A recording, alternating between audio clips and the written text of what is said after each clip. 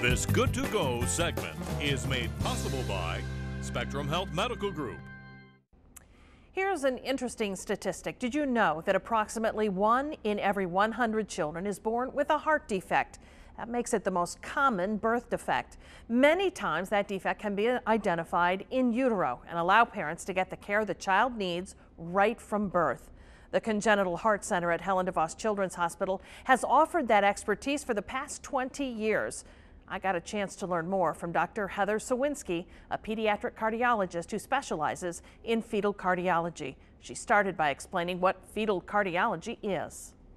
So fetal cardiology is a specialized ultrasound of the heart that uh, focuses on the anatomy to help detect a, a birth defect. Mm. Okay, so tell me about the program at Helen DeVos Children's Hospital and how that works in terms of intervening in these circumstances. So we've been, like you mentioned, around for about 20 years now. Uh, generally what uh, happens is uh, OB will do an ultrasound of the baby around 18 to 20 weeks to look at the anatomy. Mm -hmm. If there's any concerns about the heart, they will then refer them to a maternal fetal medicine doctor who would refer them to us to do a fetal echo. So that original testing, that happens with every pregnancy. It does. So that then if there's any kind of an abnormality that just appears to be that way, then for safety and precaution, they get referred on. Exactly. And there also are specialized groups where the risk of having a baby with a heart defect is a little higher than general population. So those two, those people as well would be referred. So what would those specialized groups be? So one group is uh, anyone who had a previous child with a heart defect or if they themselves had a heart defect. Oh, does that maybe predispose you or up the chances of having a child it if does. you've had it yourself? Yep. Oh, so interesting. the general population is about 1% and their risk would be closer to 3 to 5%. Hmm. Okay, so as a mother, I, am thinking about that moment of knowing that I've gotten a referral and, and, the, and the terror that's probably involved in that. So what can a woman expect when that kind of a referral is made? So the good news is there are way more people referred for this test than we actually find a defect. That is good news. So, so, so how does it go? What happens and, and what do you normally find? So, uh, like I mentioned, majority are normal structural heart.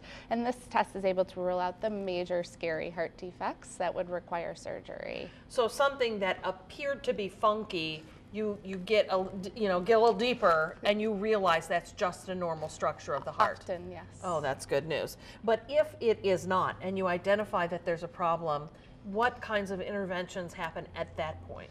So basically what we are able to do is prepare that family for what life is going to be like after that baby is born and help them uh, interview and meet with their team that's going to be help caring for the, their child. So they will meet with the neonatologists that may need to take care of their baby afterwards, in mm -hmm. addition to the heart surgeons and other cardiologists. Yeah.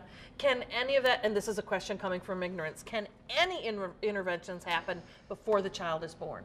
So, very, very rarely. Mm -hmm. um, there are specific heart rhythm problems that can be intervened on mm -hmm. um, by having the mother take specific medicines, and there's very specialized centers that will do procedures in very rare cases. Otherwise, it happens probably immediately after birth. Mm -hmm. And, and so is that child whisked away? And is it that kind of a immediate response? So there's a wide spectrum mm. of heart defects. Some do, unfortunately, do need to be taken to the ICU immediately, and interventions usually yep. happen within the first week of life.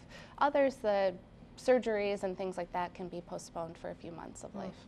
In every area of healthcare where technology is advancing what we're able to do, there's always that next frontier, that next thing that's going to happen. What's the next thing with fetal cardiology? So I think um, better imaging and mm. in addition the 3D aspect. Right now ultrasound offers the 2D look at things and we take lots of pictures to try and get it from every angle. Yeah. The 3D will just offer that extra expertise and better pinpointing defects. Yeah, so exciting things happening yes. and peace of mind, I guess, for parents who may be in the risk categories or have something funny show up. All right, well, if you would like to learn more about the Congenital Heart Center at Helen DeVos Children's Hospital, we've put uh, contact information on our website. Go to WZZM13.com under the exchange. Good to have you here, Doctor. Thank you.